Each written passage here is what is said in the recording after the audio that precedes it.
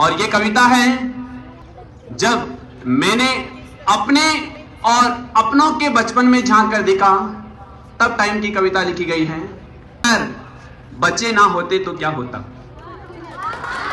सोचो अगर सोचो अगर बच्चे ना होते तो क्या होता?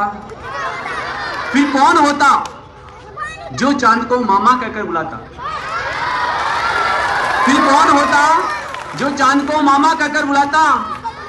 और चाँद के साथ खेलने के लिए अपनी माँ को भी सता था।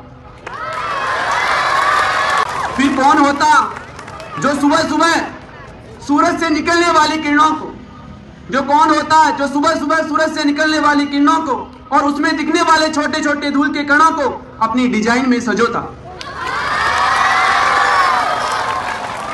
और घर से बाहर निकलने पर, और घर से बाहर निकलने पर, सड़क पर राह चलते, पड़े पत्रों को ठोकर मार मार कर अपने घर लेकर आते बहुतों की कलाई पर घड़ियाँ नहीं होती थी पहले। दिन से रात तक सबके होते थे फुर्सत के लम्हे। अब तो हम खुद के लिए वक्त निकालना भूल गए। बड़े होने की जल्दी में हम बचपन जीना भूल गए। मेरी है क्या मैं क्या बन जाना चाहता हूँ?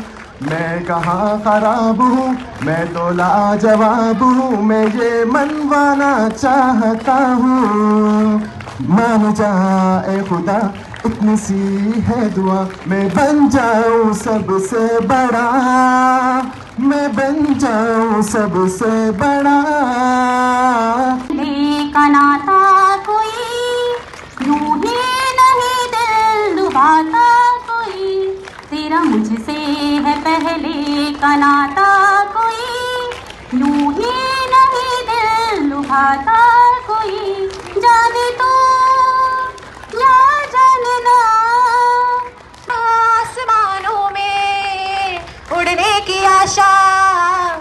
है छोटा सा।